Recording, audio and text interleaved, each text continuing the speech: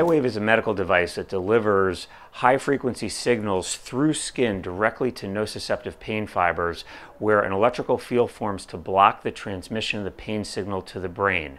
Uh, it works much like Novocaine, a chemical anesthetic, except the electrical field is blocking the pain signal electrically instead of chemically. BioWave is a very simple to use system, but the the way that the electrodes are placed is completely different than how you've been taught with conventional TENS or interferential or other types of electrical stimulation. So it's very important to understand the rationale for our electrode placement. So I'm going to start by explaining our signal technology and that will provide the rationale. In order to affect a nerve fiber or pain fiber inside the body, you have to encompass that nerve with a low frequency electrical field. We define low frequency 1 hertz to about 180 hertz in frequency. The problem is skin has very high impedance and high capacitance, and low frequency signals, regardless of the shape of the waveform, cannot pass through skin. They only travel across the surface of the skin, and that's a fundamental problem with TENS. High frequency signals, we define that as greater than 1000 hertz in frequency, particularly if they're a sinusoidal waveform, can pass through skin into deep tissue. But individually, high frequency signals have no effect on nociceptive pain fibers. What we discovered, we proved in a rabbit model at Cornell at New York Hospital. And what we discovered, and we had five probes inside the body of the rabbit, is when you add together two high frequency signals, both sinusoidal waveforms pass through the skin into deep tissue, we discovered when they, the charge at the surface of the nociceptive pain fibers, the plus charge, or the polarity of those nerves or any tissue inside the body, causes these two high frequency signals to multiply together. And the multiplication of these two sine waves causes a new spectrum of signals to form in approximately a three inch diameter hemisphere beneath a two inch diameter electrode. Uh, this the active electrical field that forms in this hemisphere is comprised of three high frequency signals and many low frequency signals. So what we discovered is a way to get the body to produce low frequency internally right at the surface of the nociceptive pain fibers. Then we did our first human study at Cornell at New York Hospital and we discovered there was an optimal set of high frequency signals to get energy to pass through skin and there was an optimal low frequency signal that formed inside the body that prevented the sodium potassium ion exchange across the membrane of the C fiber. So it prevents, the electrical field prevents action potential propagation along the C fiber. So it turns out um, we, we looked at different high frequency signals going through the skin and different low frequency signals that formed inside the body. And it turns out a specific low frequency electrical field right at the surface of the nociceptive pain fibers, it caused the greatest reduction in pain scores, in visual analog scale pain scores from before to after treatment. So it allowed us to design a very simple to use device. There's no programming. Uh, the only thing that's controlled is the intensity, and the patient controls it by pressing the plus button or the minus button on the face of the device. So this is very simple to use. It's power button and plus button. What's the device really doing? Uh, this device is a two electrode system, and the device sums together the two high frequencies and delivers them to the first electrode. When they pass through the first electrode, we get this three inch diameter hemisphere where this active electrical field takes place. This is an alternating current system. So what that means is the device alternates the delivery of the two summed high frequencies to the two electrodes. So instantaneously, after it delivers it to the first electrode, the device delivers the two summed high frequencies to the second electrode. And the electrical field forms in this three inch diameter hemisphere beneath the second electrode. And so the device continues to alternate the delivery back and forth so quickly between the two electrodes, the body never realizes the signals have left either location. So the net effect, it's as if you're treating two distinct volumes of tissue simultaneously. Since the active electrical field forms in this hemisphere beneath the first electrode and in this hemisphere beneath the second electrode, the electrodes must be placed directly over locations of pain. We never surround the pain site like you do with interferential TENS or other forms of stimulation. The way we focus signals to different parts of the body is by changing the ratio of the area of the electrodes relative to one another. If you have two electrodes and they're the same area, the density of the electrical field is the same under each electrode. The area is the same. So we can treat two distinct locations of pain. So if you have a patient with bilateral lumbar pain, we can place one electrode three inches to the left of the spine, a second electrode three inches to the right of the spine. They'd be directly over pain locations. And the patient feels nothing on the skin in between the electrodes. They only feel the sensation of the active electrical field in the hemispheres beneath each electrode. But let's and, and one other thing these electrodes are independent of one another. There's no maximum distance as they move further apart. The strength of the electrical field doesn't change. They're completely independent of one another which is different than conventional stimulation. But let's say let's say you have a single location of pain then we pair a smaller area electrode with a larger dispersive pad. The electrical field, the density of the electrical field is much greater under the smaller electrode. So that small electrode is going to go directly over the single location of pain. Um, the bigger electrode is still active, but it, the uh, the, it's a larger area, so the electrical field is spread out over that larger area. The density is less, the, the strength of the sensation is much less. And so the patient's not going to feel as much under that electrode. But in addition, we want to place this larger electrode over a location that's comfortable to receive stimulation because we only want the patient limited in how high they go up in intensity by what they can tolerate under the smaller electrode. We don't want the bigger electrode to act like a distraction. So the comfortable location to always place the bigger electrode is going to be over a bony prominence. So let's do an example. Let's say you have a patient with some, some type of shoulder pain. Let's say it's a biceps tendonitis. So that uh, so the patient's going to point to the center of where it hurts. That's where the small electrode is going to be placed. The larger electrode, the comfortable bony prominence location, is going to be along the spine of scapula. So we're going to take the front corner of this electrode, we're going to be right behind the posterior to the AC joint, and we're going to run this at an angle right along the spine of scapula. It's a super comfortable place to receive stimulation. The patient's only limited in how high they go up by what they can tolerate under the small electrode, which is right over the, the single location of pain. So to make it easy, we created this quick reference guide. And this becomes the cheat sheet that you can use during uh, the initial time period that you're using the device, and it helps you come up the learning curve.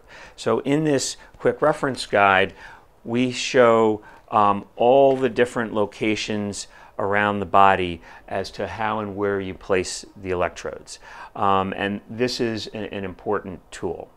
Um, before we get into uh, going over all the locations of the body, um, let's go over the nomenclature of the electrodes. There's three different size set electrodes.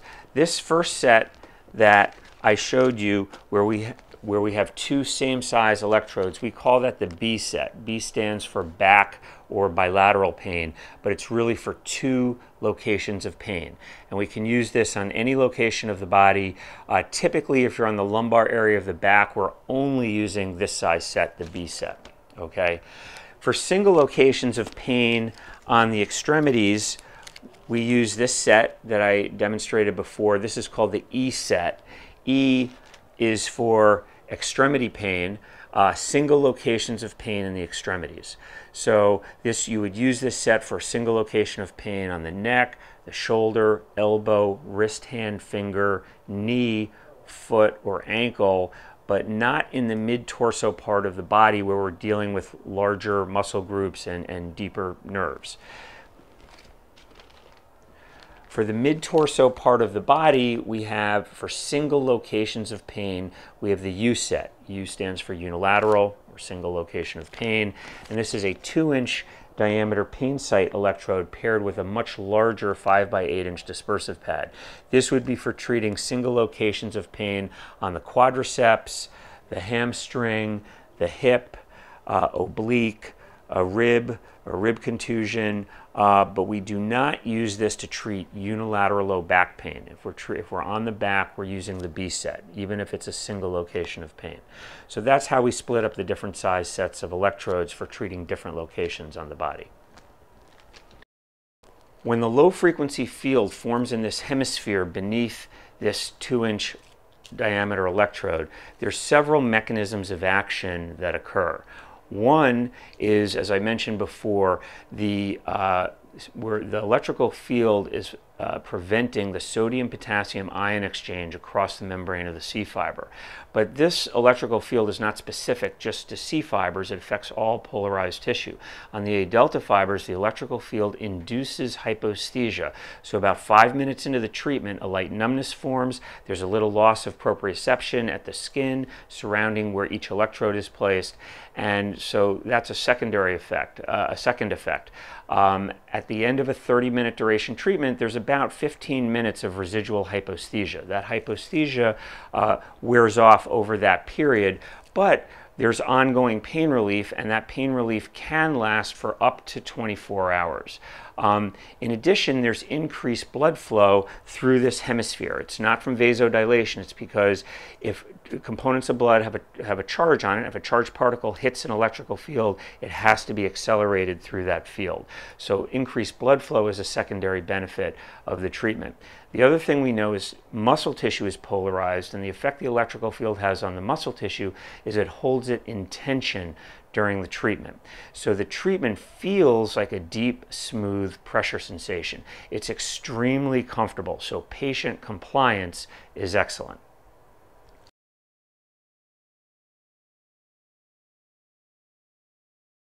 In our clinical studies, we have found, and in real world use, 81% of patients typically respond to BioWave's high frequency neurostimulation. Uh, those that respond typically have anywhere from a 50% reduction in their VAS pain score up to a 75% reduction in their VAS pain score from before to after treatment, as well as a significant reduction in uh, stiffness, a significant improvement in range of motion, and reduction of muscle spasm. Uh, this pain relief and functional improvement can last for up to 24 hours with non-invasive electrodes and up to 72 hours with percutaneous electrodes. With BioWave, a single treatment is not a panacea. If a patient responds to a single treatment, they will always respond to subsequent treatments. Uh, cumulative, multiple treatments can provide a cumulative benefit. And so um, over time, if a patient is treating at home, as an example, they may treat once a day or twice a day over the course of a month. Uh, they may find that they only need to treat every other day for another month, and after that, twice a week as a maintenance treatment. So there, there does appear to be some type of cumulative benefit that can occur by using BioWave's high frequency neurostimulation.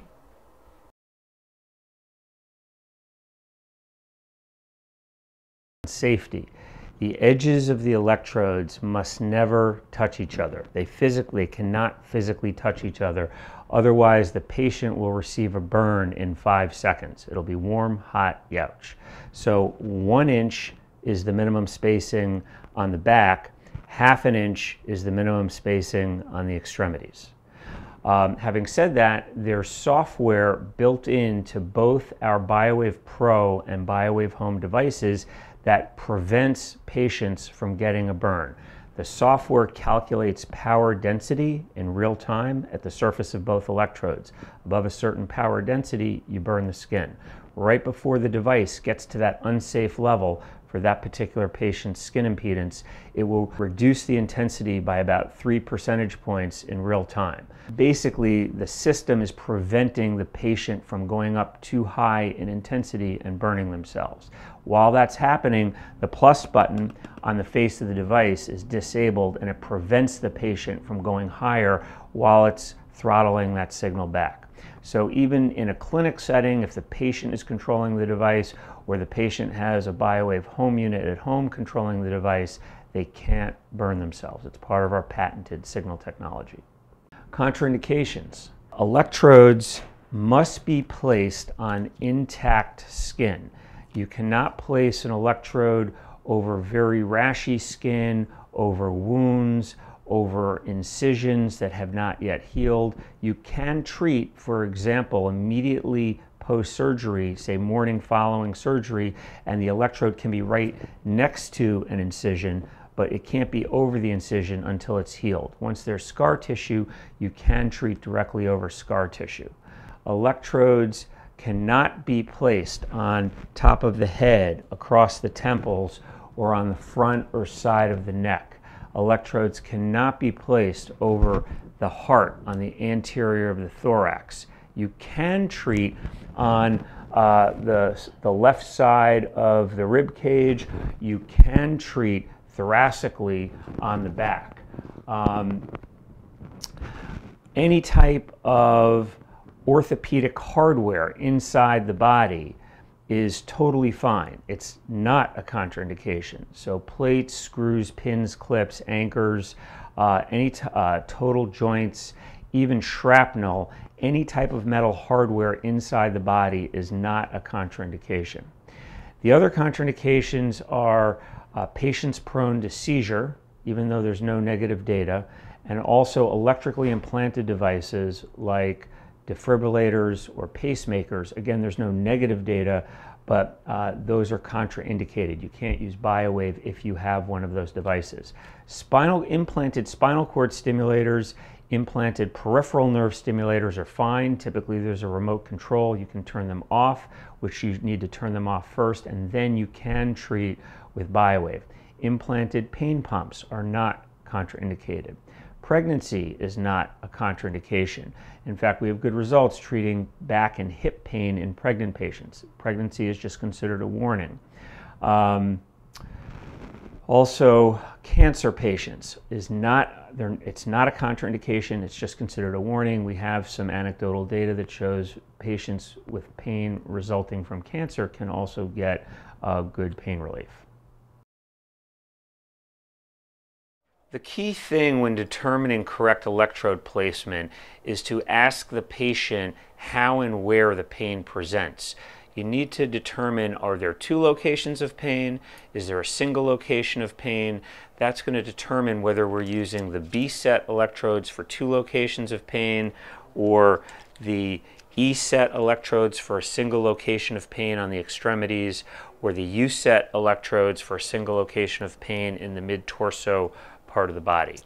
So, uh, in the example for low back pain, uh, we're going to start with um, bilateral lumbar pain. So I'm going to ask the patient, uh, we, we know the diagnosis ahead of time. Can you point to the center of where it hurts? Here. And do you also have pain uh, on this side here? Okay. So these are the locations that we want to place the electrodes because this is exactly where the pain is presenting. So the electrode peels off the plastic liner. We place one electrode directly over one location of pain. We place the second electrode directly over the second location of pain. And we orient the wires typically down so the weight of the connector does not pull on the electrode.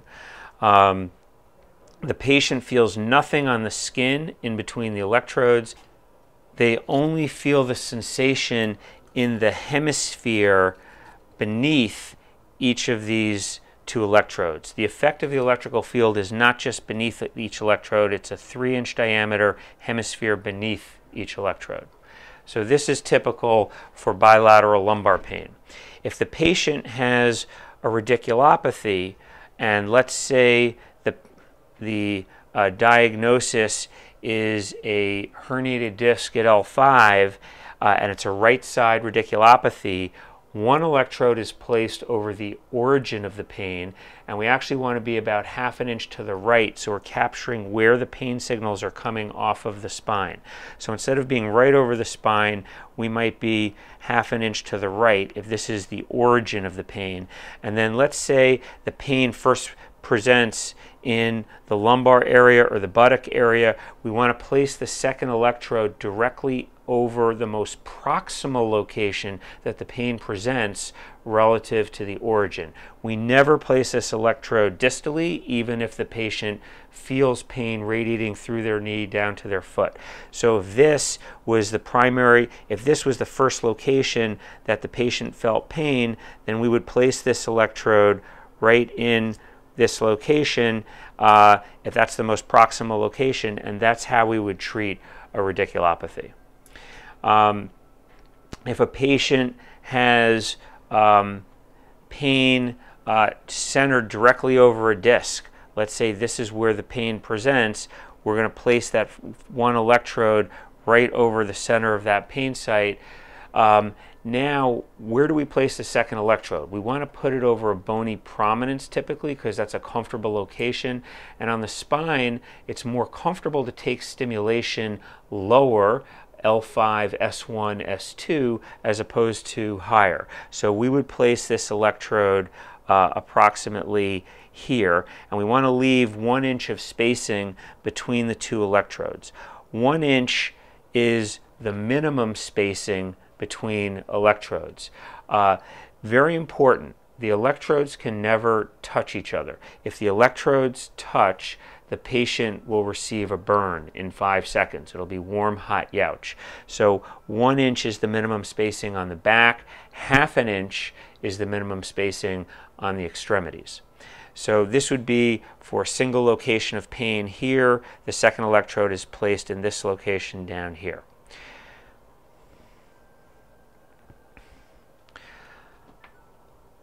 Okay, let's do unilateral low back pain let's say the pain presents um, just to the right side of the spine in the single location. So again, you're asking the patient to point to the center of where the pain is. We're presuming that's the center of the location of pain. We place this electrode. Now, the bony prominence location, we want to have one inch of spacing. So we're going to take this electrode and we're going to move lower. So we're right over the, the spine close to the sacrum. It's a very comfortable place to take stimulation. We have one inch of spacing and um, that's how we would place the electrodes for a single location of pain in the lumbar area on the back. For SI joint pain, um, the electrodes can be placed bilaterally over the SI joint um, but if the pain is right over the sacrum, we can place one over the sacrum and one can be an inch apart if there's a little more pain to the right side, or if there's over the sacrum and there's a little bit more pain, we can place the second electrode uh, to the left side of the spine, uh, or like I said, we can do a bilateral placement. This is an excellent treatment for SI joint pain. For the mid-torso part of the body, for single locations of pain, um, we use the U set. Um, U is for unilateral pain. Um, the U set is comprised of a two inch round pain site electrode paired with a very large uh, dispersive pad, eight inches by five inches. So if the patient has hip pain, um, they have to point to the center of where the pain is. Let's say this is the location. We're going to place this, this electrode right over the location that the pain presents on the hip, the single location of pain. And then this dispersive pad is always going to be placed across uh, the lumbar area of the body. It might start at S2 and go up from there. So this placement, um, this is the not just a bony prominence, it's just a convenient and very comfortable place to receive stimulation. So we can place this electrode just like this. So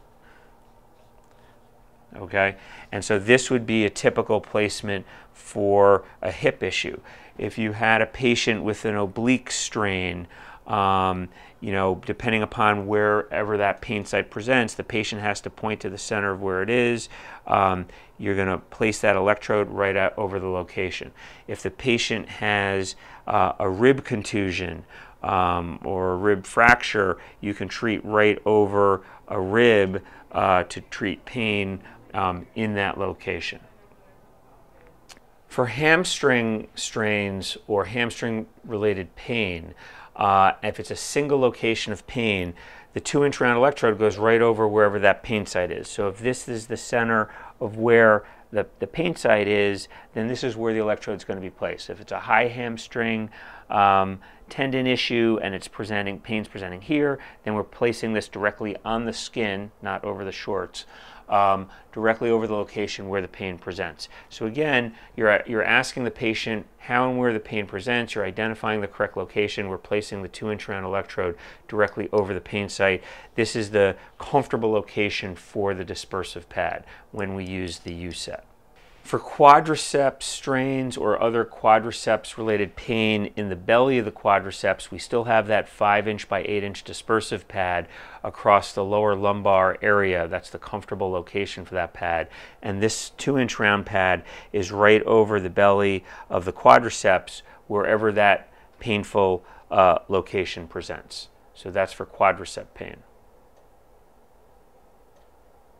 For groin pain or a groin strain, the 5 inch by 8 inch dispersive pad is in the same location. It's horizontally across the lumbar area, and the 2 inch round pad can be placed either uh, uh, below or above uh, wherever that groin pain is presenting. Um, so you would use the U set again for groin related pain. The B set in addition to treating two distinct locations of pain, can also be used to treat a large area of pain.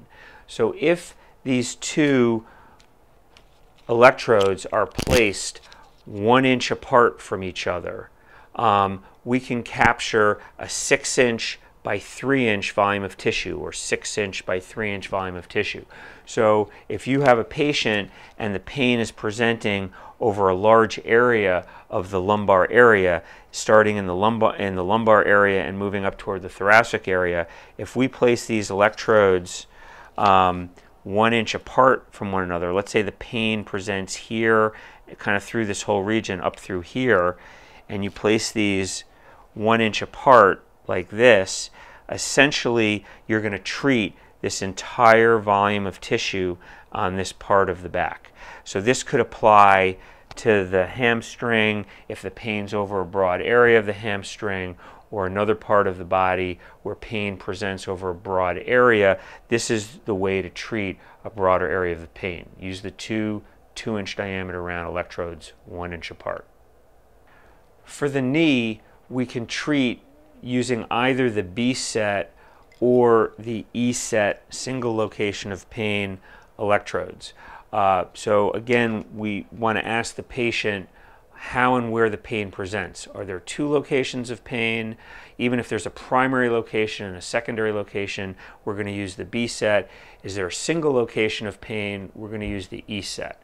So if a patient, for example, has uh, chronic OA knee pain and uh, maybe they've got grade 3 or grade 4 osteoarthritis, there's pain through the entire joint, um, it's not point specific, then uh, a good way to, to, to treat that type of pain is to place the electrodes one on the medial aspect or joint and joint line of the knee and one on the lateral joint line of the knee and this way we're getting an electrical field uh, and the, the hemispheres will intersect internally and we can treat the entire knee.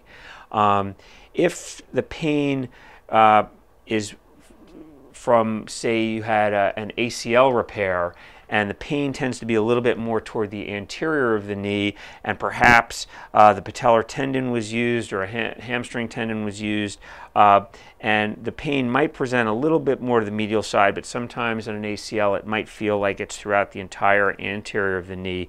We could place one electrode closer to the anterior and the other one closer to the anterior of the knee. So they're not as far back as in the other example. And there's only half an inch of spacing here between the electrodes. And if the patellar tendon was used you can be right on either side of the incision here.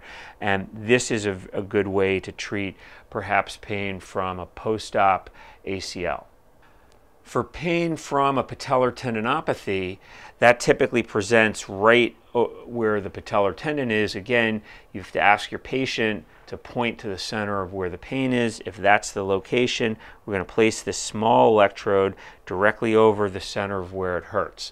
The larger electrode, the bony prominence comfortable location for it is we're going to place it on the lateral aspect of the knee. We're going to be about two thirds or three quarters of the way up the lateral side of the patella. We're going to touch that and run this vertically down the lateral side of the knee.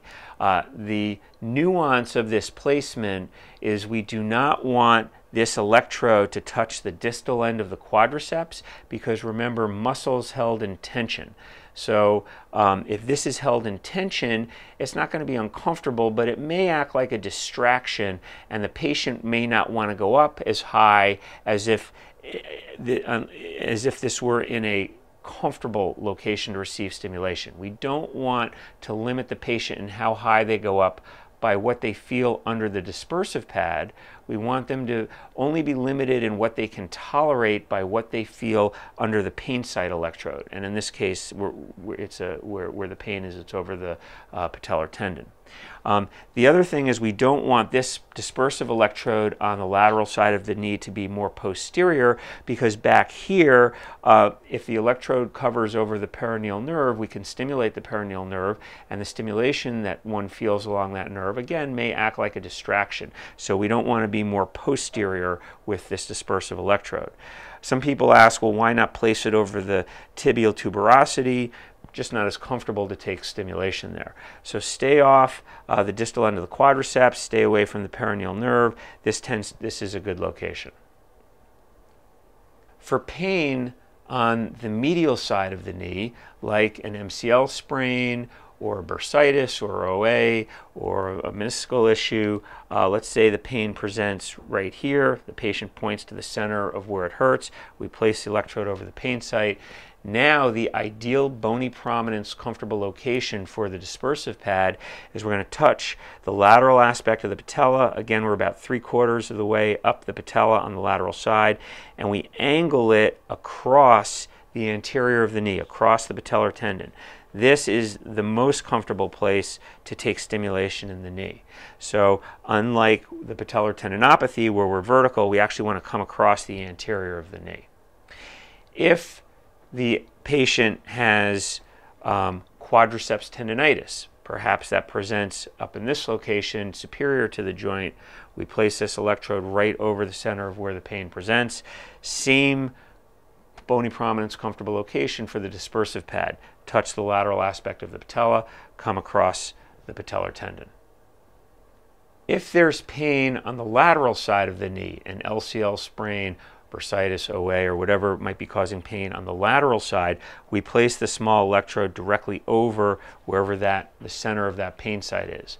Now there's not enough room to be on the lateral side here because the electrodes can't be far enough apart. So we do the mirror image. We touch the medial side of the patella three quarters of the way up and we come across uh, the patellar tendon um, this way. We stay off the VMO, the distal end of the quadriceps.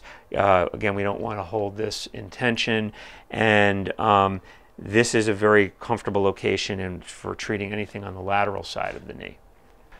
For IT band issues, iliotibial band pain, um, a lot of times that pain may present a little more proximal to the joint. So let's say this is where the IT band pain presents.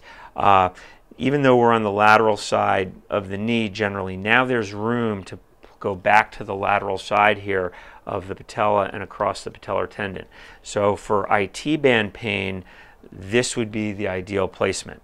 Now, if the IT band pain presents in two locations, perhaps it presents not only in this location, but further up the IT band, then we can go back to using the B set and we can place one electrode over one location of pain and the second electrode over the second location of pain, or it could be all the way up uh, uh, higher up on the IT band, but this is going directly over wherever that pain, wherever that second pain site might be.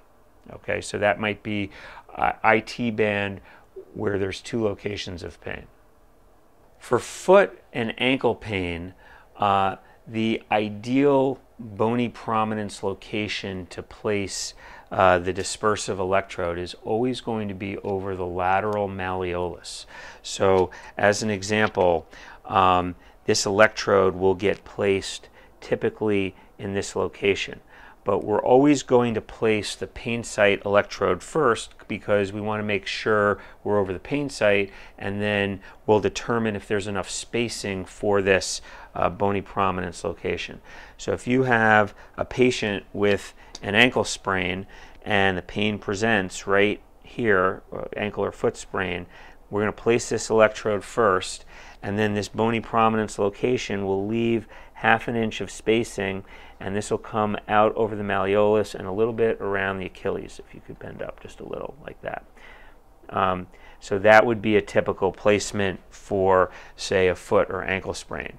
If a patient had uh, plantar fasciitis, this electrode is going to go right over the plantar fascia.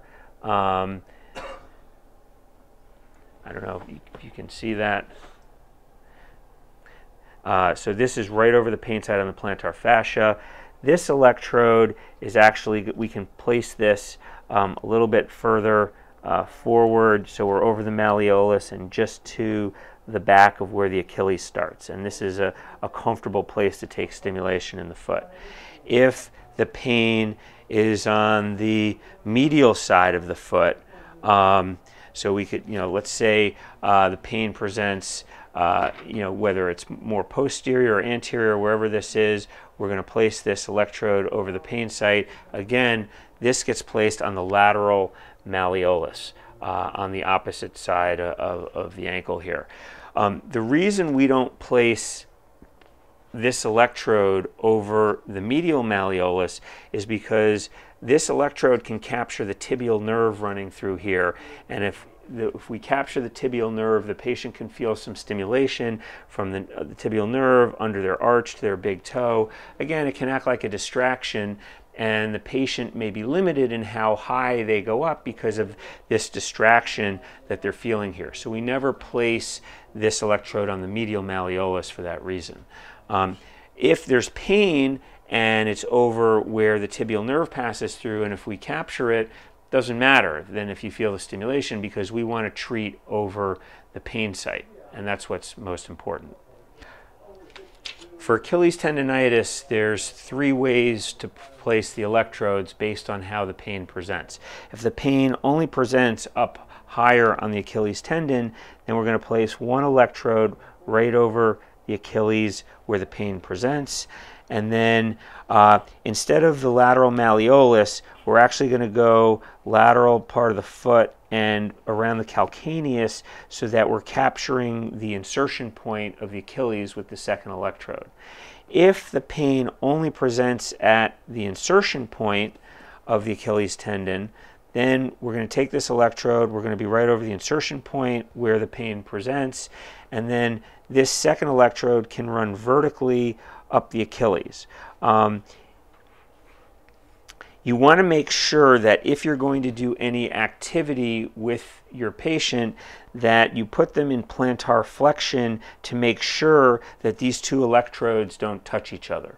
Uh, so if you're placing the electrodes and, and the tibia is at 90 degrees to the foot, uh, make sure you're leaving more than one inch of spacing here because when you go into plantar flexion, you can see how much closer they come together and we don't want them to touch as the patient may be doing activity during the biowave treatment. The third way to do an Achilles tendonitis placement is to use the B set. And that's if the patient has pain both at the insertion point and further up the Achilles tendon. So this way we're getting kind of an equal treatment all along the Achilles. So we can place one electrode right over the insertion point if that's one of the locations where pain is being where pain is presenting and we can place the second electrode um, on the Achilles further up the Achilles um, just again make sure there's enough spacing just in case you are going to do any activity we don't want the edges of these two electrodes to touch so this is we, we're treating this entire region of the Achilles tendon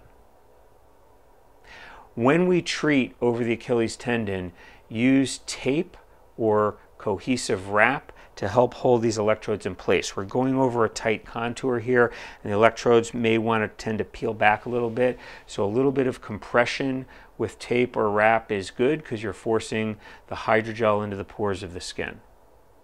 For two locations of pain on the foot or ankle, then we're going to use the B set and cover those two locations of pain. So for example, if a patient has a high ankle sprain and perhaps the pain presents on the lateral or anterior part of the ankle, let's say that's one pain location and perhaps there's medial side compression pain on the other side of the foot or ankle, um, we can place the two electrodes uh, directly over the two locations of pain that present. They could be two locations of pain on the same side, on opposite sides, it, it doesn't matter. But if there are two locations of pain, then use the B set electrodes to cover those two locations of pain.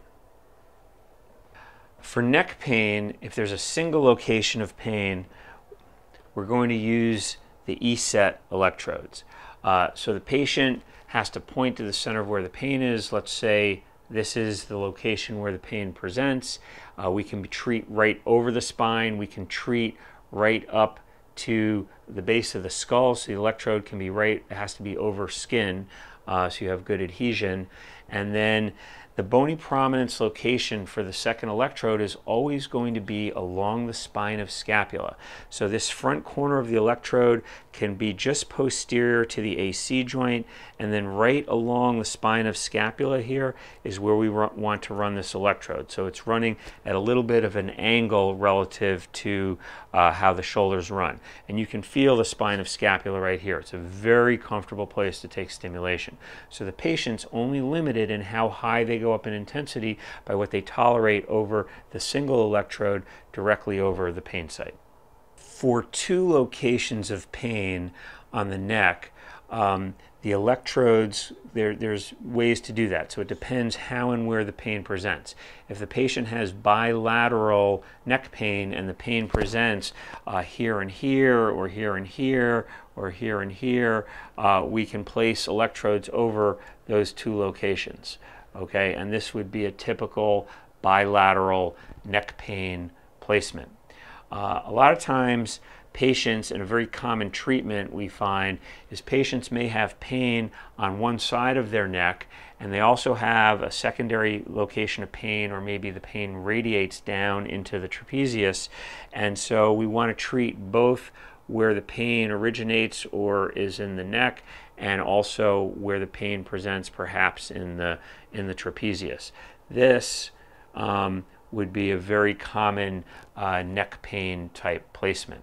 Um, if a patient had a cervical radiculopathy and it originates at, let's say, C3, and the most proximal location of pain is in the trapezius, this would also be for a cervical radiculopathy. If the pain doesn't, if the first most proximal location the pain presents is closer to the shoulder, then we would place this electrode over where that pain presents in the shoulder.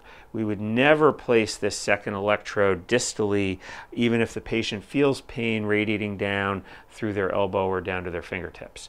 We want to capture where the pain presents, again, the first location that the pain presents that's closest to the origin. If a patient has uh, pain directly over one of the cervical discs, we can place one electrode uh, directly over that location. The second electrode can go uh, uh, an inch below it And so we can actually capture um, up to three or four cervical discs with this placement. And the hemispheres beneath these electrodes are, are inter, intersecting internally. So we're really treating this one large region of pain. If there could be pain over multiple discs or pain just over a, a single disc.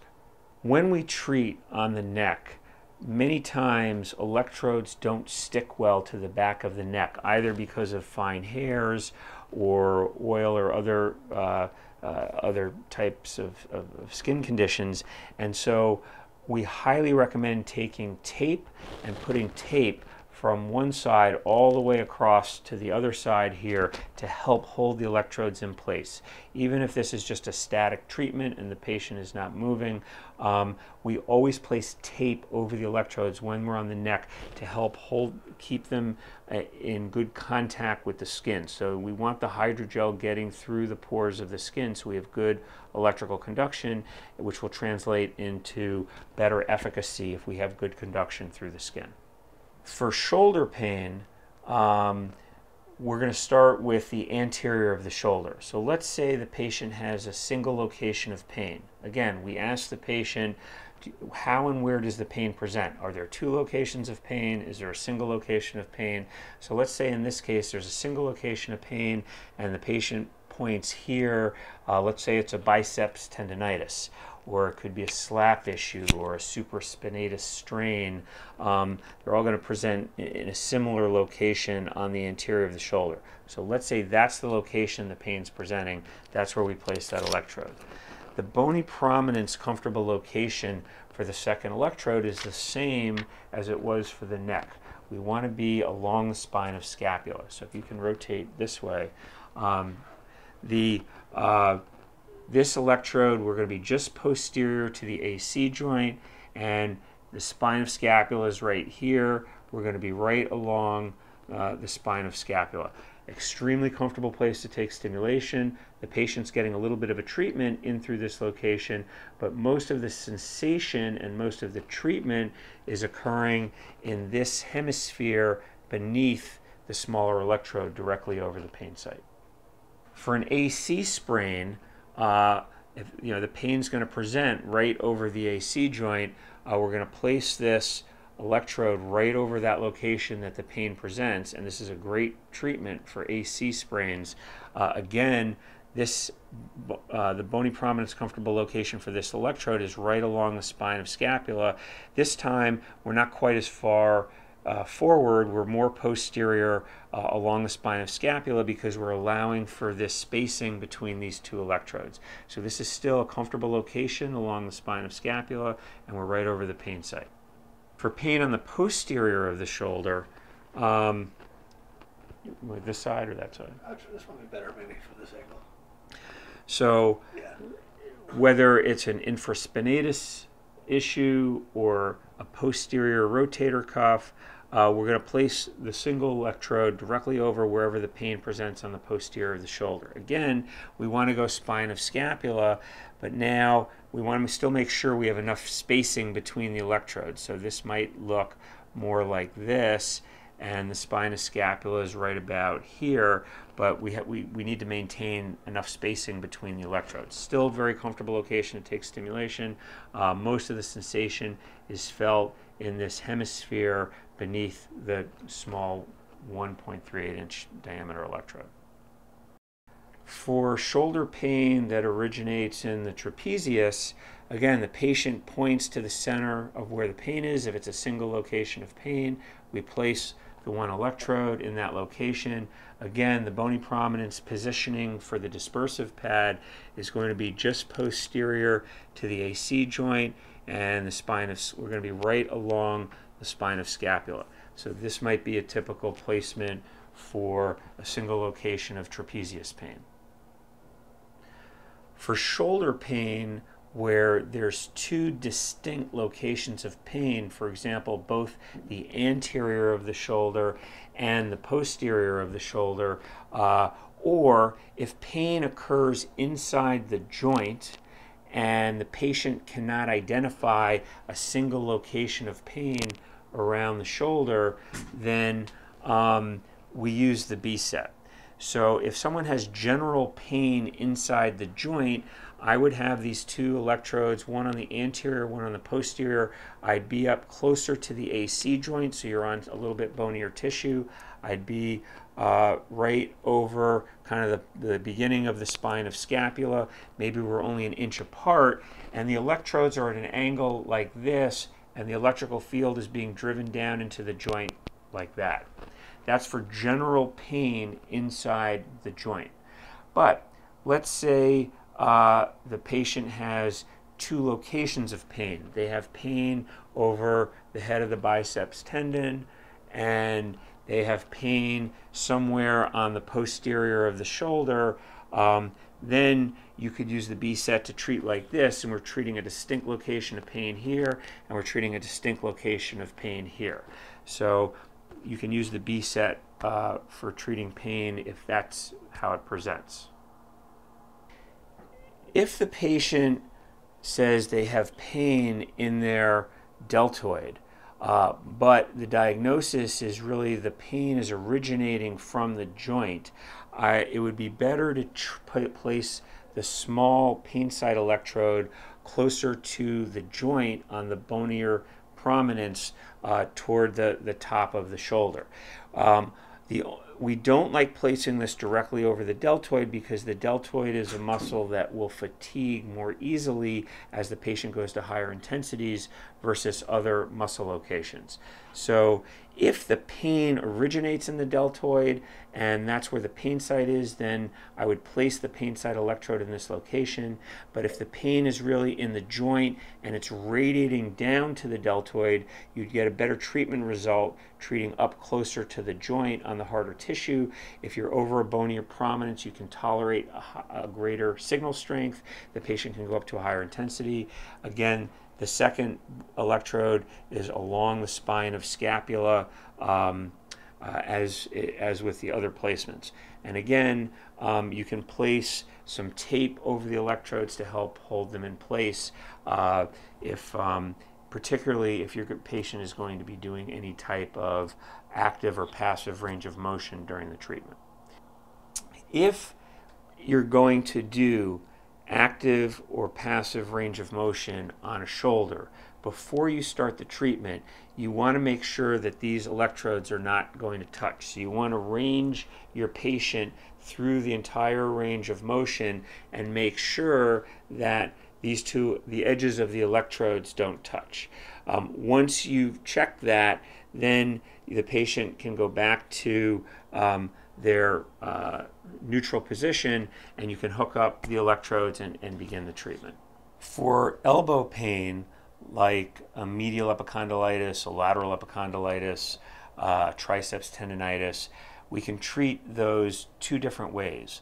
Uh, if the if the pain is really point specific and the patient tends to be a little more sensitive to stimulation because the elbow is a more sensitive uh, location to receive stimulation, we can use the E-set and the single um, electrode is placed directly over the single pain site on the elbow. Again, we use the spine of scapula as the bony prominence location uh, for um, the, uh, the dispersive electrode. So, for example, for lateral epicondylitis, if the pain presents right in this location, we're going to place this electrode right over that one spot. Uh, and again, the, the bony prominence location is here. For medial epicondylitis, rotate a little bit more. For medial epicondylitis, if the pain presents uh, you know, right, say in this location, then the small electrode is placed right over that location. Again, the bony prominence location for the other electrode is along the spine of scapula where we had it before. For triceps tendonitis, um, if the pain presents at the distal end of the triceps here, uh, we're going to place this electrode right over the location that that pain presents. So those are the three typical locations that we treat around the elbow. An alternative way for treating elbow pain is to use the B set, the two same size electrodes, because we can hit the joint from two different angles and feedback that we get from the field, for example, from Major League Baseball, where pitchers typically uh, have uh, medial epicondylitis from repetitive motion from throwing, as an example, we find we're getting better treatment results by treating not only the medial epicondyle, but placing the second electrode over the distal end of the triceps. So the typical placement for a medial epicondylitis would be we would place one electrode over uh, where the pain presents on the medial epicondyle, and then the second electrode would be placed on the, dis- on the distal end of the triceps uh, in this location, and this way, uh, and you can see we have enough spacing uh, between the two electrodes here, and this way uh, we're hitting the elbow from, from two locations. So similarly, if we were going to treat lateral epicondylitis, we would place this one electrode over the lateral epicondyle, and the second electrode again would be in this location, posterior uh, part of the elbow, distal end of the triceps. So we'd be hitting the elbow from these two locations, and we find that we get a better treatment result. So the preference for elbow pain would be to treat with the B set on the elbow. This placement would also be for triceps tendonitis. So if the pain presented on the posterior of the elbow, then the first electrode's here. I would place the second electrode on the lateral side here. And again, you're hitting it from two sides. The only time I would go to the single electrode placement if a patient's more sensitive to stimulation and they don't want both uh, electrodes on the elbow, but you will get a very focused treatment using the smaller electrode directly over that pain site location. So that's uh, uh, this is the alternative or maybe preferential method for treating elbow pain. When we do elbow treatments, we want to roll up a towel. It's typically available in a physical therapy clinic or athletic training setting uh, because we want to keep the fingers in a comfortable position. If we're treating over the ulnar nerve, the electrical field captures the ulnar nerve, it wants to pull the pinky and ring finger in and wrist uh, inward. So this keeps the patient in a comfortable position. The patient can operate the intensity of the device with their other hand. For wrist, hand, and finger, um, we typically use the E-set because the region that we're treating is so small in volume, we're going to capture uh, the entire wrist or finger or hand, wherever the location is that we're treating. So for pain on the wrist, that's on the anterior of the wrist, if this is where the pain presents, we're going to place this electrode directly over that location. Uh, we're typically going to place the electrodes in an opposing fashion. So the dispersive electrode is going to go across the posterior of the wrist, and you want to make sure there's enough spacing between the edges of the two uh, electrodes here. And because again, we're going over a tight contour, you want to take tape or cohesive wrap and wrap it around the electrode so we have good uh, uh, adhesion to the skin and conduction through the skin by pressing the, the hydrogel into the pores of the skin. If the patient has small diameter wrists and you're worried that the edges of the electrodes are going to be too close, then instead of being across the wrist, we can be partially on the back of the hand and run the electrode this way so we don't have a problem with um, uh, the, the electrodes potentially touching. Stay off the forearms, the, the softer tissue there is not as comfortable to receive stimulation. If you are treating posterior of the wrist, then again, we're right over wherever the pain presents. The we're going to place the dispersive pad across the anterior of the wrist. Again, um, we want to go directly across, use tape or wrap to hold this in place. If the wrist is too small, you can be partially up on the palm of the hand and along the wrist this way. Again, use tape um, to help hold these electrodes in place uh, so that you have good adhesion because we're going over uh, not a completely flat location.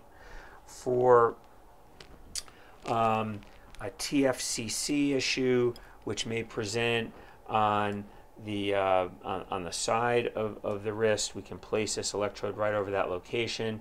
This second dispersive electrode can be in an opposing location. So again, you've got enough spacing here on this side, and you've got enough spacing on um, the other side of the wrist as well.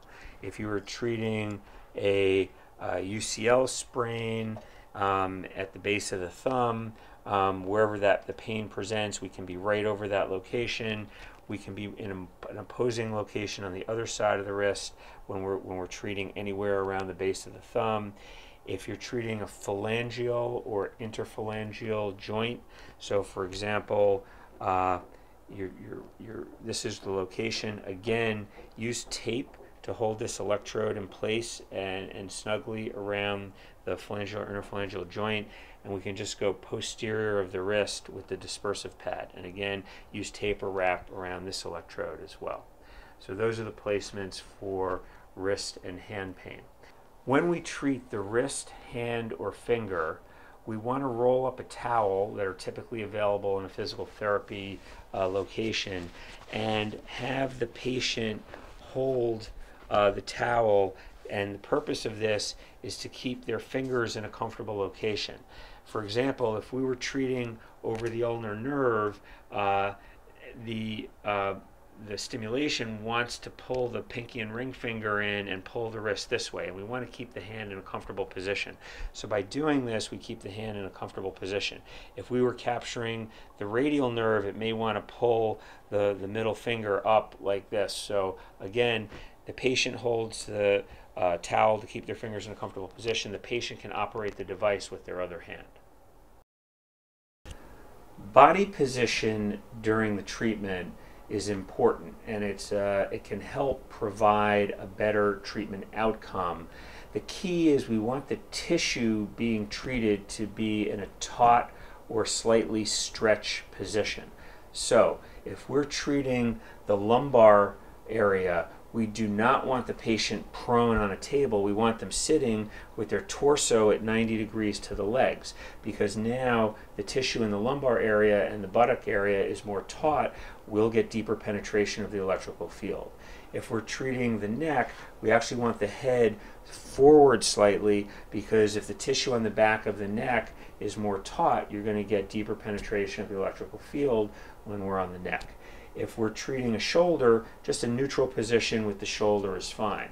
If you were going to range the shoulder, then you could have the patient supine on the table, and then they would be in a position after eight minutes of treatment to start doing you know passive or, or assisted active range of motion uh, on their on their shoulder. Um, if you're treating an elbow, kind of a comfortable neutral position is fine. Um, wrist, hand, finger, as, I as I've shown in a prior segment, uh, we're rolling up a towel to keep the fingers in a comfortable location. Um, and same with the elbow. Uh, for the knee, we always want the knee at 90 degrees here uh, because that's going to provide the strongest sensation inside the joint.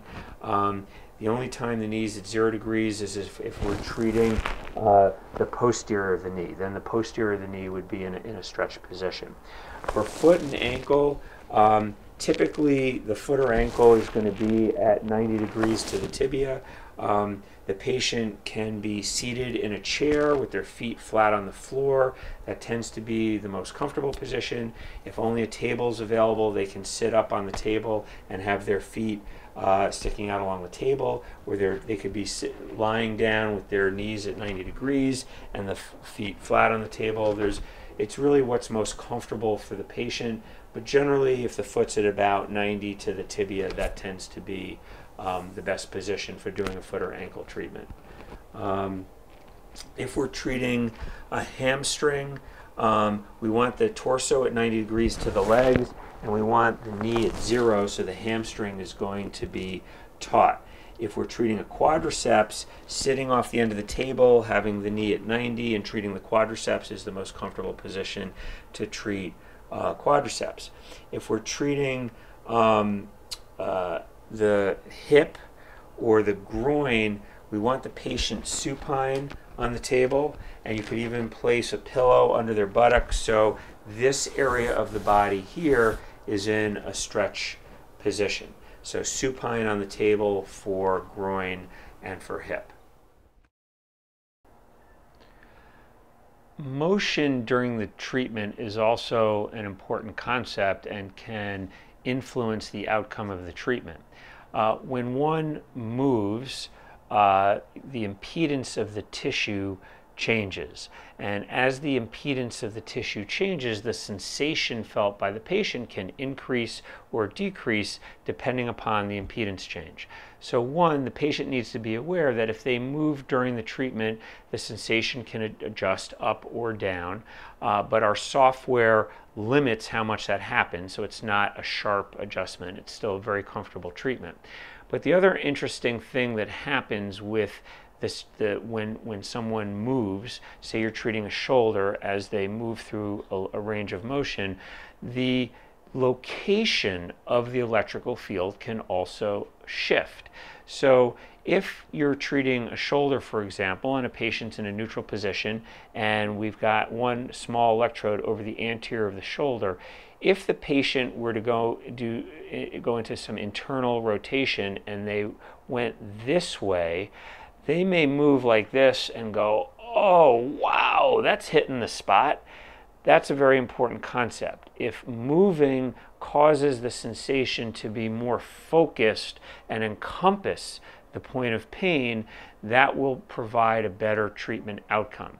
Similarly, if you were treating an elbow and um, let's say depending upon supination, pronation, flexion, extension, angle of the elbow, uh, the, the electrode is here, but the patient felt more of the stimulation in their forearm radiating down to their fingertips. Um, uh, you're not going to get as good a treatment result as if the patient gently moved and let's say they went to this position and they said, oh, wow, that's hitting the spot, that's a good thing. So we want the sensation from the electrical field to be focused, encompassing the point of pain here, and you don't want to feel the sensation of the electrical field radiating down to the fingertips.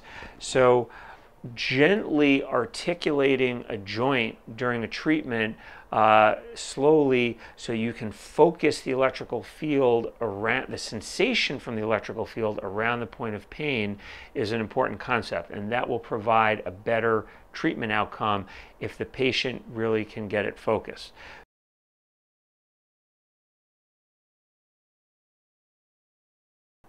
We have two different protocols for uh, using BioWave. One is a static treatment protocol, and the other is a dynamic protocol. It's actually doing active or passive range of motion during the BioWave treatment. For a static pain treatment protocol, we want to make sure the body, the tissue is in a taut or slightly stretched position, and then the patient's going to stay in that position for the entire 30 minute duration treatment. Now, in a sports setting, uh, typically we want to do a minimum of two treatments. We want to treat before practice of the game, and uh, but what happens is during practice of the game, the athlete may be re-aggravating their particular condition. So we also want to do a second treatment after practice of the game. And the multiple treatments provide a cumulative benefit, much more so than any single treatment. Um, heat can be used before practice of the game. Ice uh, or cold therapy is very commonly used in combination with BioWave after practice of the game. Um, so that's the, the typical static pain treatment protocol. In a physical therapy setting, we're talking typically about a single uh, 30 minute session or in a VA hospital setting, a, a, in a pain clinic, as an example, a static 30 minute session would be a, a single treatment in a day. The dynamic treatment, or we call it neuromodulation during activity, is we want to first place wrap over the electrodes. Um, so we want it, it could be a, a, cohesive wrap, it could be tape, it could be a Velcro strap. We want to hold the electrodes in place because the patient is going to begin active or you can do passive range of motion with, with that patient. So we put tape or wrap around the electrodes to hold them in place. We do a static treatment for eight minutes eight minutes because we want the effect of the electrical field to take place on the C fibers. We want the hypoesthesia to kick in on the A delta fibers. That kicks in about five minutes into the treatment. We get increased blood flow through the hemisphere uh, where that electrical field takes place. The increased blood flow is a secondary benefit. And so all this is going on during the first eight minutes of treatment. At the eight minute mark, we have to reduce the intensity of the treatment to take the edge off the sensation that the patient feels because uh, we don't want the sensation of the electrical field to limit the ability of the patient to move through the entire range of motion that the physical therapist or athletic trainer wants them to move through. So, uh, for example, if we're treating an upper extremity and the patient in the first eight minutes gets to 60% in in intensity on the BioWave device, then we, at the eight minute mark, we want the patient to reduce the intensity by 10 percentage points or hit the minus button and take it down to 50.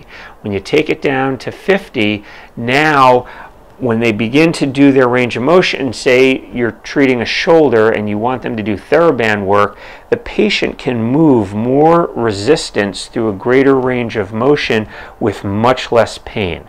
The electrical field is removing the guarding effect associated with pain. So it's facilitating motion. So BioWave is facilitating motion and managing pain simultaneously. It makes it much easier for the patient to accomplish whatever your physical therapy or occupational therapy regimen is for that patient because of the long carryover effect with BioWave, there's little post-exercise soreness. So it's a wonderful tool, as I said, to facilitate motion and manage pain simultaneously. So for the physical therapy protocol, we're going to do an example. Uh, uh, let's say the patient has uh, medial knee pain, and then we're going to show what we're going to do uh, to be able to accomplish um, uh, eccentric quad work during the biowave treatment. So let's say the pain presents on the medial side of the knee. We're going to place the electrode in this location. We're going to place the um, dispersive electrode, uh, lateral aspect of the patella across the patellar tendon. Um, now, very importantly, we need to place tape or wrap around the electrodes to help hold them in place. Uh, first, we want to check the range of motion. So when the patient goes through a complete range of motion, the edges of the electrodes are not going to touch. So we're fine with this orientation of the electrodes. Next, we're going to take some tape and we're going to wrap, um, if you slide forward a little.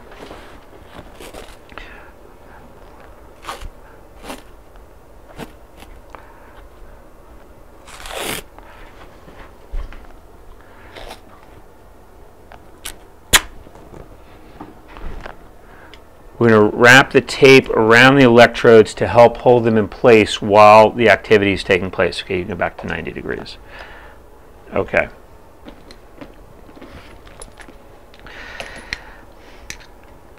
Either connector can attach to either electrode. So the orientation doesn't matter. It can go either way. Either one can plug into either connector. There's no plus or minus uh, or, or polarity uh, with the electrodes. With this end, the cable, there's a red dot and a notch. Uh, they line up facing out. The notch on the cable right here lines up with a keyhole at 12 o'clock in the female part of the connector. It's if it's not lined up, it won't go in. If it's lined up, it slides in gently and then it clicks in place. Uh, to remove the cable, you don't uh, pull on the cord, do not twist two fingers on the metal barrel and pull very gently uh, straight back and that releases the cable from the connector. Power buttons on the side of the device. You hold the power button down until the screen lights up. If the screen lights up and it reads 0.0%, you're all set to start. The setup is very fast. So the patient's going to control their intensity and they're going to increase the intensity so the sensation they feel is as strong as possible but still comfortable. So you're in control. When we hand this to the patient so the cord doesn't stick into their belly, we usually hand it to the patient so the rubber bumper is uh, against their belly and if they grab the unit here, the thumb naturally falls to the plus button. So you can start in increasing the intensity. You're going to ramp it up uh, as so the sensation you feel is as strong as possible but still comfortable. If you hold the button down after two seconds, it ramps at a steady rate. It doesn't go too fast, um, but that's uh, you want to that's a, an easier way to, to ramp it up a little bit more quickly. So now the patient's at a strong steady state level. They're going to stay in this static position for eight minutes okay? And during that eight minute period, we want them to continue to increase the intensity to keep the sensation as strong as possible in the region that we're treating. The body adapts to the electrical field very quickly in the first few minutes of treatment. As the body adapts to the electrical field, the sensation diminishes. As the sensation diminishes, the patient should keep hitting the plus button to keep the sensation as strong as possible. Now, eight minutes has passed and we're ready to start active or passive range of motion. So we're going to take uh, on a lower extremity, we're going to reduce the intensity by five percentage points. So if this was at 21 and a half, we're going to take it down. Now it reads 16 and a half. Um, uh, if we were at 60 percent, we would take it down to 55%. A typical treatment range for the knee is somewhere between 60 and 90%. Okay, so if the patient's at 60, take it down to 55 to take the edge off the sensation. Now we're going to start whatever your uh, physical therapy regimen is. So if the patient comes over here and we want to do eccentric quad work, um, the, the cable is six feet long. The device can sit on the table, it can sit on the floor next to the patient. And now, um, if we want the patient to do a lunge, um, you can do a lunge while this is on, and it's much easier for the patient to get to 90 degrees doing the lunge than without BioWave because the electrical field is removing the guarding effect associated with pain. Another example of activity uh, during the treatment would be, for example, a passive range of motion. So let's say you have a post-operative knee patient, you're trying to get flexion in the knee. Uh, so after eight minutes of treatment, we take the intensity down by 5% because we're on a lower extremity. So if the patient's at 60% intensity, we take it down to 55. And now you're going to start whatever your uh, treatment regimen is. So if we're trying to get extra flexion in the knee, um, uh, we can take this and you can push the knee, get an extra 10 degrees of, of flexion while BioWave is on than without. So the patient's more comfortable, you're, you're accomplishing a little bit greater range of motion, and so it's a great tool to facilitate accomplishing whatever your therapy regimen is. Another example of our physical therapy protocol, say on a foot or ankle, uh, we'll do an example of an ankle sprain and with the goal of trying to get your patient to do heel lifts or they could be doing activity on a BAPS board. Uh, but for the purpose of this example, uh, we'll show heel lifts. So um, we've done uh, the placement of the electrodes so that uh, the small pain site electrode, the small rounded electrode is directly over the pain site. The uh, dispersive pad is on the lateral malleolus, which is the comfortable place to receive stimulation. We're going to have the patient go through a range of motion, so do a heel lift and we can see that those electrodes are not going to touch. So we just want to ensure that that uh, is the case. Then we're going to take some tape and uh, wrap around the electrodes so that we help hold them in place. We've, we've placed cohesive wrap or tape around the electrodes on the foot and ankle to help hold the electrodes in place. We've done a static treatment for eight minutes. The patient has increased the intensity over that eight minute period to keep the sensation they feel at as strong a sensation as they can tolerate but still comfortable. And now at the eight minute mark, we've just reduced the intensity by 5%. Uh, and you could do it as much as 10%. The idea is you want to take the edge off the sensation that the patient feels so that they can get through the entire range of motion that you want them that you want to take them through. So now the the device is running and we've reduced the intensity and for example, if you want your patient to do heel lifts, the patient can begin doing that activity. So it's so much easier to do a heel lift because the electrical field is removing the guarding effect associated with pain. So the patient can get through that range of motion uh, that you want them to accomplish. You could do this while on a BAPS board. You could, uh, the patient could be riding a bicycle um, while they're doing the treatment. Uh, and so again, it's a treatment that can facilitate motion, whether you're on an upper extremity, uh, working on a shoulder, an elbow, or wrist, hand, or finger, or on um, a lower extremity like uh, a knee, a foot, or ankle, or you could be doing activity while you're treating the back or neck, certainly as well. Example of our physical therapy protocol, uh, this time on an upper extremity, let's say the patient has uh, medial elbow pain, they're having difficulty getting to full extension. Um, we're going to place the electrodes for the correct treatment. We're going to put them through uh, whatever range of motion they can get through to make sure these electrodes aren't going to touch, which is fine. Um, and now uh, we're going to put wrap or tape around the electrodes to help hold them in place. If you want the patient to do some type of activity, for example, you could provide them a weight and they could do um, a, a weight bearing exercise or a resistance exercise. It's much easier for them to accomplish that exercise because the electrical field here is removing the guarding effect associated with pain. So, this is again, it's a tool to help facilitate motion and have the patient accomplish whatever your occupational therapy regimen is. Operation of the device uh, is very simple. Uh, there's a power button on the side of the device. If you press that down and hold it until the screen lights up, then let go, uh, the device turns on. There's three points of connection that we check.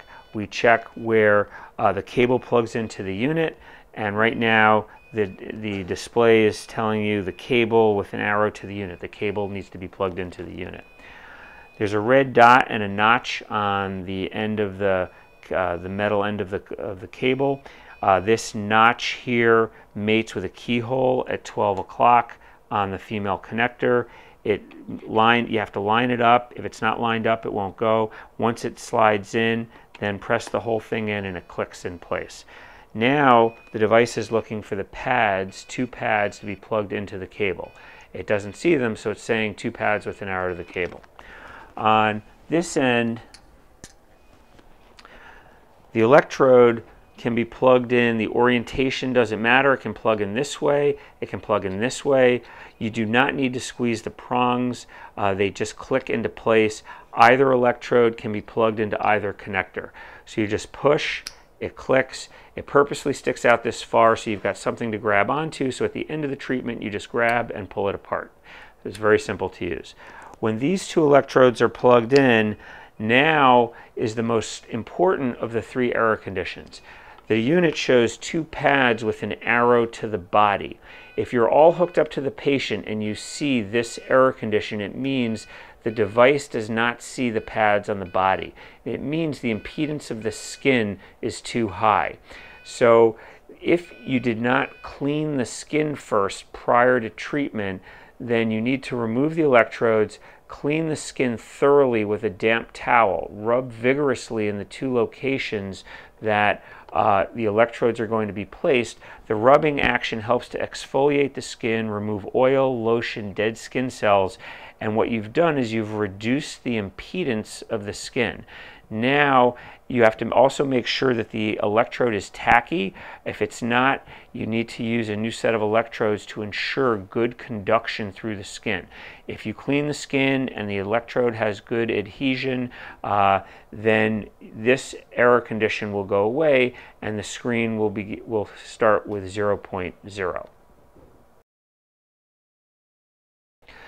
Operation of the device is very simple. There's a power button on the side of the device. If you press that down and hold it until the screen lights up, then let go, uh, the device turns on. There's three points of connection that we check. We check where uh, the cable plugs into the unit, and right now the, the display is telling you the cable with an arrow to the unit. The cable needs to be plugged into the unit. There's a red dot and a notch on the end of the uh, the metal end of the, of the cable. Uh, this notch here mates with a keyhole at 12 o'clock on the female connector. It line, you have to line it up. If it's not lined up, it won't go. Once it slides in, then press the whole thing in and it clicks in place. Now the device is looking for the pads, two pads to be plugged into the cable. It doesn't see them, so it's saying two pads with an arrow to the cable. On this end, the electrode can be plugged in. The orientation doesn't matter. It can plug in this way. It can plug in this way. You do not need to squeeze the prongs. Uh, they just click into place. Either electrode can be plugged into either connector. So you just push, it clicks. It purposely sticks out this far so you've got something to grab onto. So at the end of the treatment, you just grab and pull it apart. It's very simple to use. When these two electrodes are plugged in, now is the most important of the three error conditions. The unit shows two pads with an arrow to the body. If you're all hooked up to the patient and you see this error condition, it means the device does not see the pads on the body. It means the impedance of the skin is too high.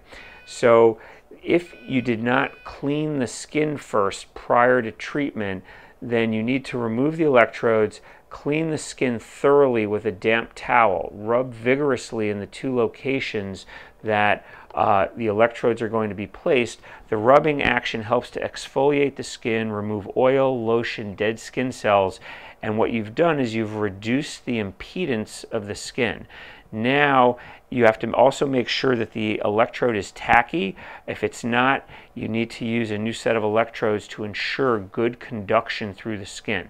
If you clean the skin and the electrode has good adhesion, uh, then this error condition will go away and the screen will, be, will start with 0.0. If the whole system is hooked up correctly to the patient, so the cable's plugged into the unit, the other end of the cable is plugged into the electrodes and the electrodes are attached to the body. The unit should read 0.0% and there should be no error conditions showing on the screen. If that's the case, you're all set to begin the treatment. And to begin the treatment, you simply start pressing the plus button. The screen shows the intensity. The scale goes from 0 to 100%. Um, it goes up in 0.5% increments with each press of the plus button. If you hold the plus button down, after a couple seconds, it starts advancing at a faster pace, but not too fast. The lower left corner is the set time. It's set preset to 30 minutes. The countdown timers in the center and the battery indicators on the other corner.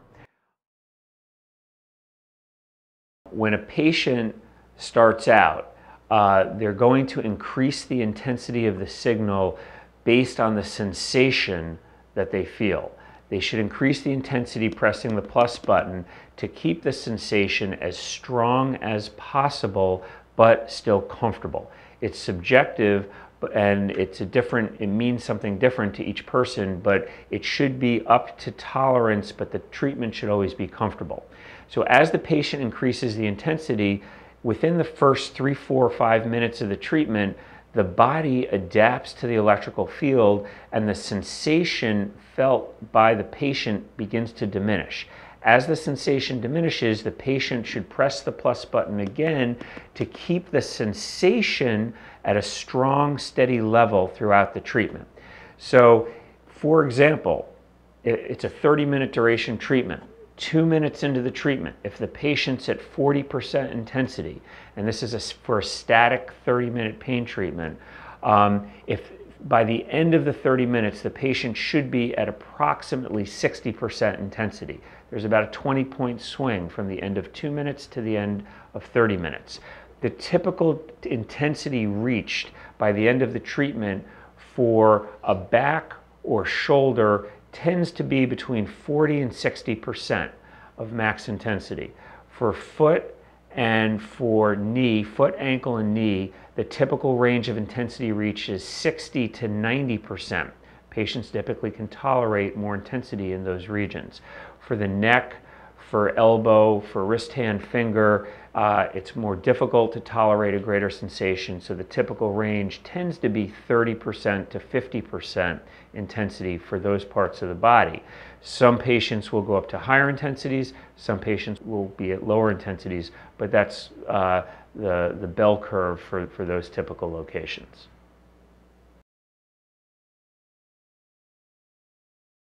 Now we're going to discuss the application of the percutaneous electrode. This is for BioWave pens. So first thing is uh, you've identified where the pain presents.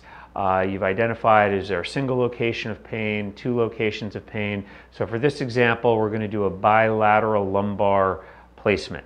So the patient has indicated, oh, first you're going to palpate, you're going to find the center of the location of each pain site. If, in this example, if these are the two locations of pain, we're going to mark those locations with a Sharpie. So palpate, find the center of the pain site, mark it with a Sharpie, palpate, find the center of the pain site, mark it with a Sharpie, and this is the center of where we're going to be placing the percutaneous electrodes.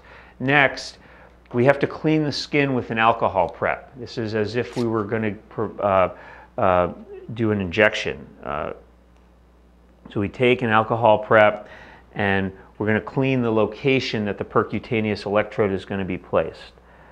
So, so we clean this whole location, make sure you can still see the center of the Sharpie location.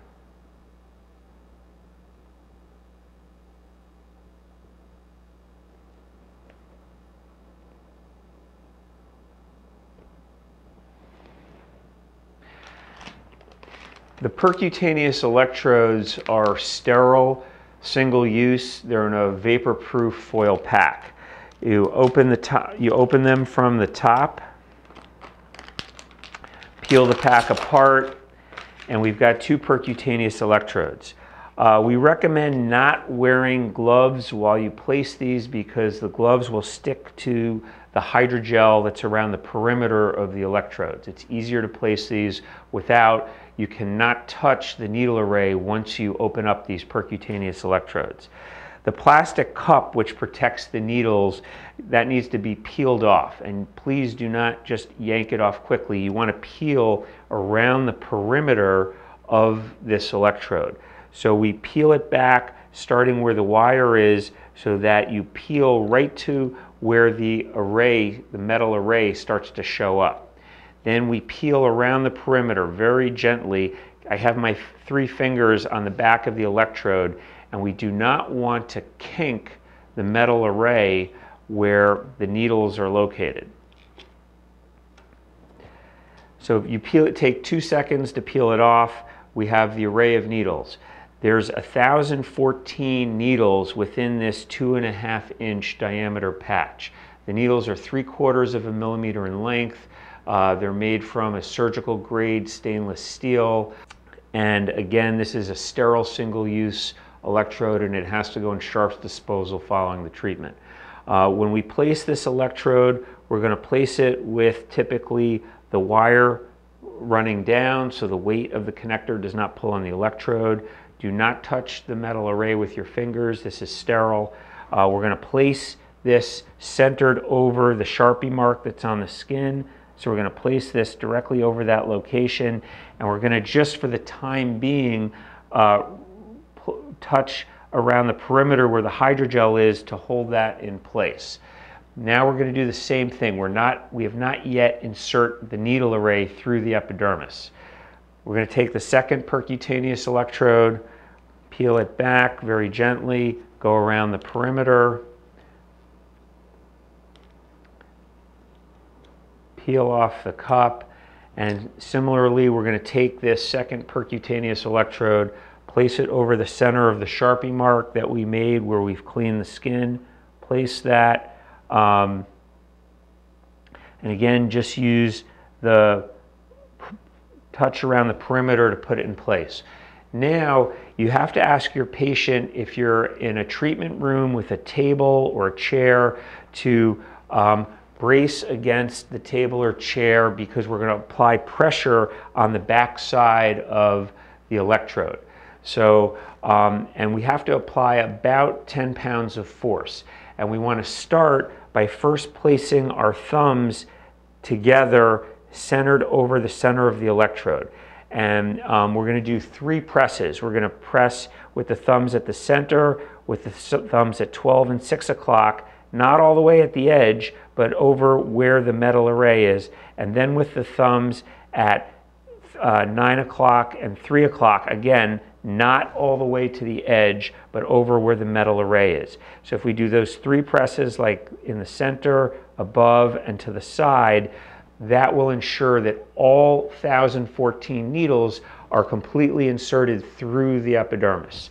So we're going to tell the patient, now the needles don't hurt, but we're applying pressure over a painful location on the body because the electrode must be placed directly over the location of pain. So it's a little bit of discomfort for the patient for approximately the one to two seconds that you're inserting the needles through the epidermis. So are we ready? Mm -hmm. So we're going to press firmly. You can see how much pressure I'm applying. That's then we're going to do at 6 and 12 o'clock. Then we're going to press at 9 and 3 o'clock. Okay? So this electrode is now inserted through the epidermis. Now we're going to do the same for the other electrode. So we're going to press now at, with the thumbs together in the center. We're going to press at 12 and at 6. And we're going to press at 9 and at 3. So that's, that's what it takes to insert the needle array through the skin. When we're done with the treatment, we can remove the percutaneous electrode. You're going to see a pink circle and typically you'll see uh, four to five tiny drops of blood. You can take dry gauze, sterile gauze, and clean off any tiny drops of blood that are there. There's no dressing that's required. The pink circle resolves typically in about one to two hours post-treatment. If the patient has very sensitive skin, it may take 24 hours for the pink circle to resolve.